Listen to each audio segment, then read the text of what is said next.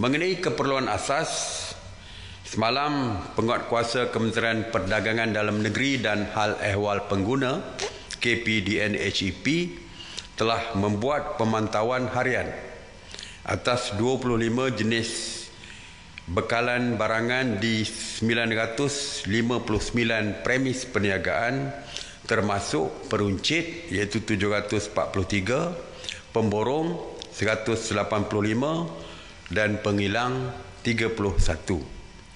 Secara keseluruhannya bekalan barang keperluan mencukupi dan mampu menampung keperluan dalam negara secara berterusan dan mudah diperolehi.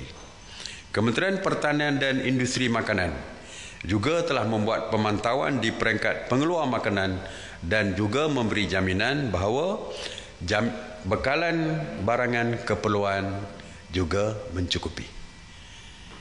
Oleh itu orang ramai dinasihatkan tidak perlu bimbang kerana seperti yang disebutkan oleh dua kementerian tadi bahawa barang keperluan makanan harian adalah mencukupi dan mudah diperolehi.